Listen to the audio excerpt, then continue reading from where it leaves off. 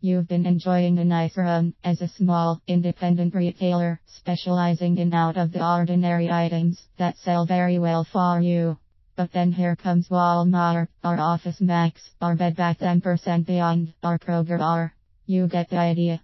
The big box guys seem to be opening everywhere and horning in on what you've been able to build for the last few years. Your first thought might be to lower prices just to be able to compete with the big boys. But that's kinda like taking a Swiss Army knife to the gunfight at the OK Corral. You can't compete with the big guys on price. Forget it. There are, however, some things you can do to maintain your position in the market. Here's five things you can do to remain firm and even possibly gain when you're forced to take on the big boys. Use social media locally. These big guys typically do a terrible job with their social media profiles in the local markets. You can do better. Ramp up your work on Facebook, Pinterest, YouTube, and Twitter. And if you're a B2B business, add LinkedIn to that list. Local blogging.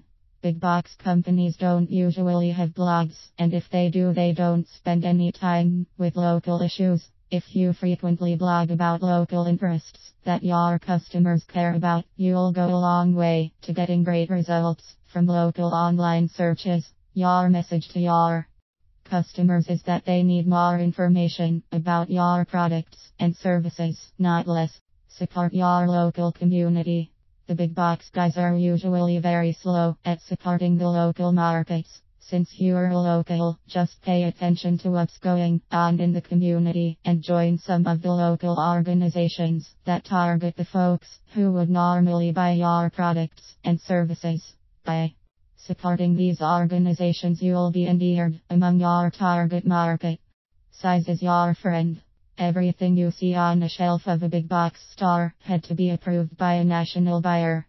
You, on the other hand, can begin selling a new product as soon as you see it and realize it's just what your customer would like. You can continue to specialize in what helped build your business.